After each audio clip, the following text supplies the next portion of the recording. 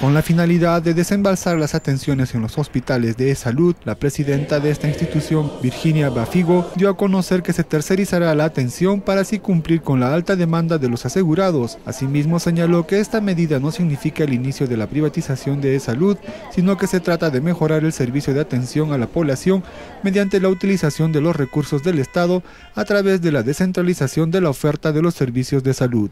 No hay una sola entidad en el país que se pueda dar abasto utilizando solamente la oferta propia, ni el Ministerio de Salud ni, el, ni la Seguridad Social, de tal manera que tenemos que acercarnos a la oferta de terceros para poder cubrir la gran demanda de nuestros asegurados. Nosotros estamos haciendo lo que ya desde hace muchos años se ha venido realizando. Acuérdense ustedes de los convenios que se firmaban en el pasado con clínicas privadas para el desembalse de cirugías.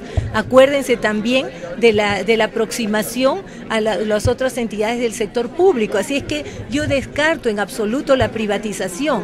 Lo que tenemos que hacer es un mejor uso, un uso racional de los recursos que el país tiene en oferta de servicios de salud. Así también la máxima representante de salud dio a conocer que para el próximo año se ha dispuesto una importante inversión para la construcción de más hospitales a través de inversiones público-privadas. Tenemos prevista algunas inversiones, algunas ya están comprometidas en Lima, por ejemplo, que son los hospitales bajo la fórmula de asociaciones público-privadas.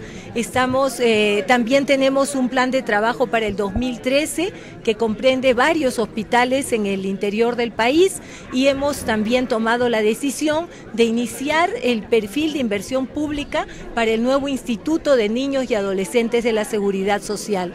En lo referente a las acciones a realizar en las redes asistenciales, la doctora Virginia Bafigo destacó que se creará el sistema de urgencias y emergencias y se fortalecerá la capacidad operativa de los servicios de emergencia de los establecimientos de salud mediante la contratación de personal, la adquisición de equipos y el mejoramiento de la infraestructura.